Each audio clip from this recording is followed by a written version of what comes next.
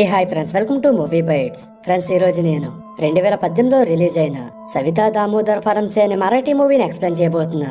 ఈ మూవీ గురించి ఎలాంటి ఇంట్రడక్షన్ లేకుండా డైరెక్ట్గా స్టోరీలోకి వెళ్ళిపో మూవీ స్టార్ట్ అవుతూనే మనం భార్యభర్తలైన విక్కీ అండ్ కుష్మల్ని చూస్తాం. ఇద్దరు ఒక ప్రోగ్రామ్కి చీఫ్ గెస్ట్గా వెళ్తారు. విక్కీ పుట్టి పెరిగింది ఇక్కడే. అందువల్ల అతను ఇంత పెద్ద రైటర్ అయినప్పటికీ ఆ చిన్న బస్తీకి గెస్ట్గా వెళ్తాడు. విక్కీ ఎన్నో ఏళ్ళుగా ఇదే బస్తీలో ఖాళీగా ఉండే ఒక ఇంటికి రెంట కడుతూ ఉంటాడు. దీనికి కారణం ఏంటనేది మనకు ముందు ముందు తెలుస్తుంది. ఈ రోజు రాత్రి ఎప్పటికీ గుర్తుండిపోయేలా ఉండాలని విక్కీ అండ్ కుష్మ అదే ఇంట్లో శారీరకంగా కలవాలని చెప్పి నిర్ణయించుకుంటారు. అందుకని కుష్మ ఫ్రెష్ అవడానికి వాష్రూమ్కి వెళ్తుంది. విక్కీ బయట ఆమె కోసం ఎదురు చూస్తూ ఉంటాడు. సడన్గా విక్కీకి కుసుమ అరుపులు వినిపిస్తాయి. వెంటనే విక్కీ పరిగెట్టుకుంటూ ఆమె కోసం వెళ్తాడు. కుసుమ కడుపు నొప్పితో విలువలాడిపోతుంది. వెంటనే విక్కి డాక్టర్ని పిలిపిస్తాడు.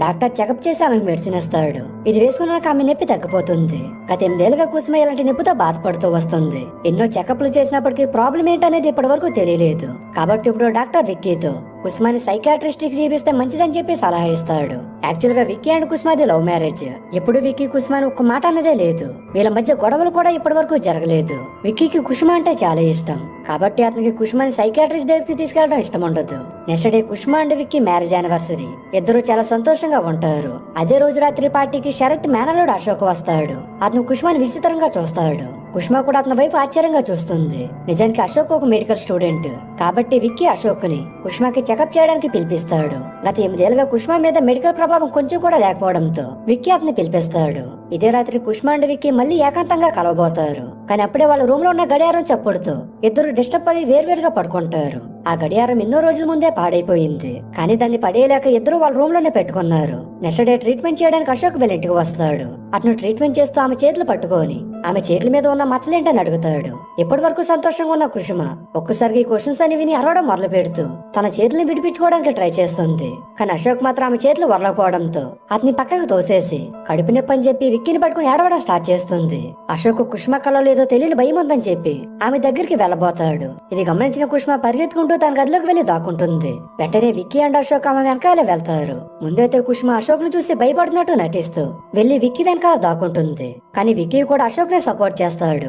ఇది చూసిన వెంటనే కుష్మ కోపంతో తన తాళం తీసేసి పక్కన పెట్టేసి నేను కుష్మను కాదు సవిత అని చెప్పి పడిపోతుంది. అశోక్ ఇప్పుడు విక్కీతో కుష్మ ఒంట్లో ఎవరో సవిత పేరు గల అమ్మాయి ఆత్మ ఉంది. అందుకనే తను ఇన్ని రోజులుగా ఇలా ప్రవర్తిస్తూ వచ్చిందని అంటాడు. జరిగిందంతా విక్కీ వెళ్ళి డాక్టర్తో చెబుతాడు. డాక్టర్కి ఇదంతా నమ్మాలనిపించదు. అతనికి ఇదంతా మల్టీ డిజాజర్ వల్ల అవుతుందని చెప్పి అనిపించి అశోక్తో నువ్వు కుష్మ చేయని బలవంతంగా పట్టుకున్నావు. అందువల్లే తను అలా బిహేవ్ చేసిందని చెప్పి విక్కీతో దెయ్యాలు ఆత్మలు లాంటివి ఏమి ఉండవు. చేసుకోండి. అశోక్తో నువ్వు కుష్మ చేయని బలవంతంగా పట్టుకున్నావు. అందువల్లే తను అలా బిహేవ్ చేసిందని చెప్పి విక్కీతో దెయ్యాలు ఆత్మలు లాంటివి ఏమి ఉండవని అంటాడు. కానీ ఎందుకో తెలియదు గాని ఇప్పటికీ విక్కీ అశోక్ మాటలే నమ్ముతుంటాడు. ఇది చూసిన డాక్టర్ ఎలాగైనా విక్కీకి కుష్మకు ఉంది జబ్బు మాత్రమే నిరూపించడానికి ఒక టేప్ రికార్డర్ ఆన్ చేసి విక్కీని కొన్ని క్వశ్చన్స్ అడగడం స్టార్ట్ చేస్తాడు. ముందుగా అతను సవిత అంటే ఎవరని అడుగుతాడు. యాక్చువల్గా సవిత విక్కీ స్నేహితురాలు. తను ఎప్పుడూ విక్కీకి తోడుగా తన వెనకాలే తిరుగుతూ ఉండేది. అతనితో ప్రేమగా ఉండేది. ఒకవేళ కుష్మ విక్కీ జీవితంలోకి వచ్చి ఉండకపోతే తప్పకుండా అతను సవితనే పెళ్ళి చేసుకునేవాడు. ఇలా సంతోషంగా ఉంటున్న టైంలో వీళ్ళ జీవితంలోకి కుష్మ వచ్చింది. Savitha and Kushma best friends ఆమెను చూసిన మొదటి చూపులోనే విక్కీ ఆమెతో ప్రేమలో పడతాడు. అలా గడుస్తున్న కాలంతో పాటు ఇద్దరు మనసులు కలిశాయి. వెంటనే విక్కీ శుభవార్త సవితతో చెబుతాడు. ఇది విన్న సవిత సంతోషపడుతుంది అనుకుంటాడు. కానీ వార్త విని సవిత దారుణంగా ఏడ్చి విక్కీ అండ్ కుష్మాలు పెళ్ళి చేసుకున్న రోజు సూసైడ్ చేసుకుని చనిపోతుంది.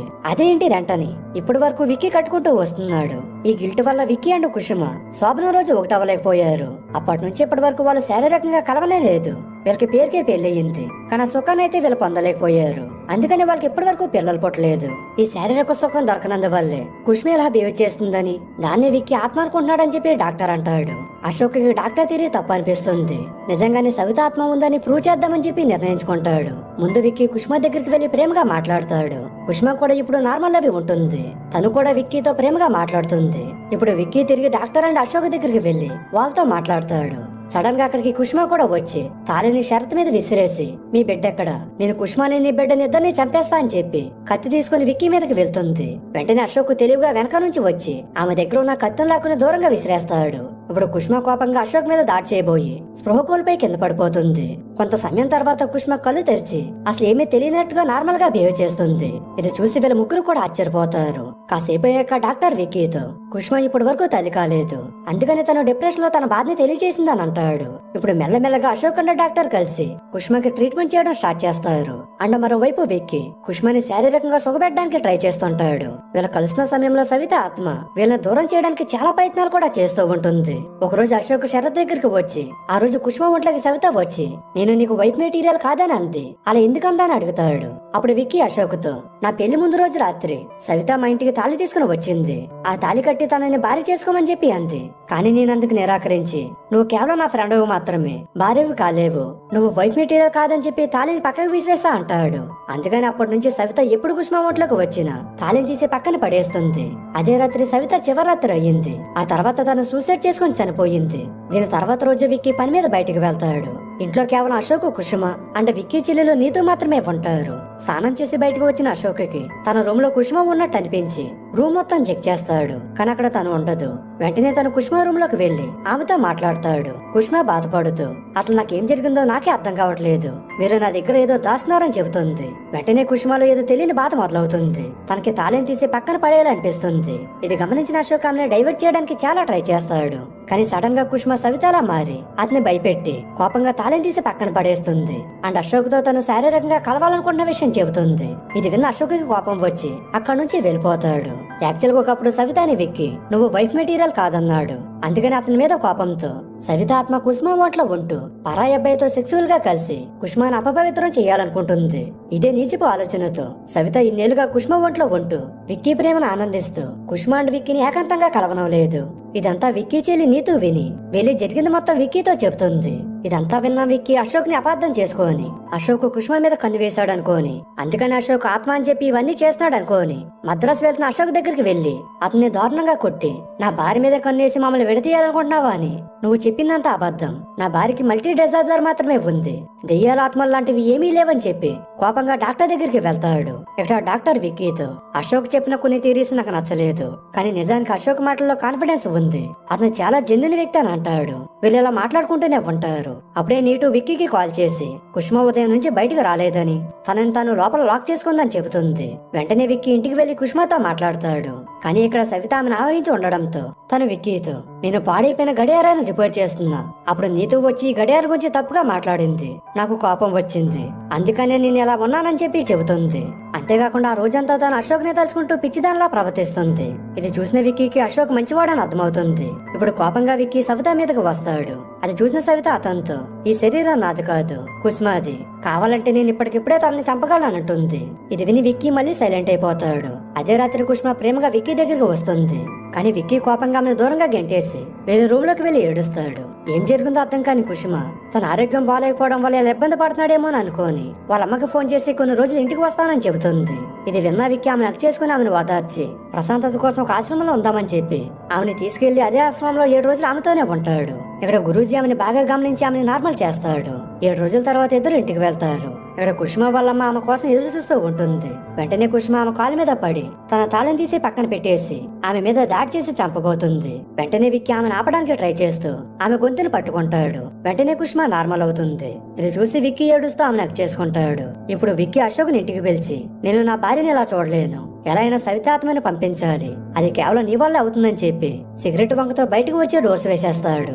సవితాత్మను పంపించడానికి విక్కి వీళ్ళిద్దరిని శారీరకంగా కలపడానికి ఇలా చేశాడని అశోక్కి అర్థమవుతుంది. వెంటనే అశోక్ బయటకు వచ్చి అతని ఇలా చేయనని చెప్పేసి వెళ్ళిపోతాడు. వెంటనే విక్కీ అతను ఆపి నా భార్యని సవిత నుంచి కాపాడమని చెప్పి అతని చాలా బ్రతిమలాడతాడు. వేరే దారి లేక అశోక్ కూడా ఎందుకు ఒప్పుకుంటాడు? ఒకరోజు కుష్మా తన తాళిని వెతుక్కుంటూ ఉండగా తనకు ఒక టేప్ రికార్డర్ దొరుకుతుంది. ఆ రికార్డర్లో డాక్టర్ విక్కీని అడిగిన క్వశ్చన్స్ అన్ని రికార్డ్ అవి ఉంటాయి. తను అది ప్లే చేసి వింటుంది. అందులో సవితకి సంబంధించి మ్యాటర్ ఉంటుంది. అప్పుడే అక్కడికి అశోక్ వచ్చి నేను ఓడిపోయాను. నీకు ఎలా కావాలంటే అలా నన్ను వాడుకో అని చెప్పి బట్టలు విప్పుతుంటాడు. కానీ కుష్మ నార్మల్ గానే ఉండడంతో తను అశోక్ నాపి ఏడుస్తుంది. ఆ తర్వాత తను అక్కడి నుంచి ఇంటికి వెళ్ళి గట్టిగా అరుస్తూ నువ్వు నేను బెస్ట్ ఫ్రెండ్స్ కదా. నువ్వు విక్కీని ఇష్టపడుతున్న విషయం నాకు ముందే చెప్పాల్సింది. అలా చెప్పుంటే ఆ రోజే విక్కీకి నేను దూరంగా వెళ్ళిపోయేదాన్ని కదా? ఫ్రెండ్షిప్ అంటే ప్రేమకి త్యాగం. ఎందుకు ఇలా చేస్తున్నావు? నువ్వు నీ ప్రేమ గురించి చెప్పుంటే ముందే మీ ఇద్దరిని కలిపేదాన్ని కదా అని అంటుంది.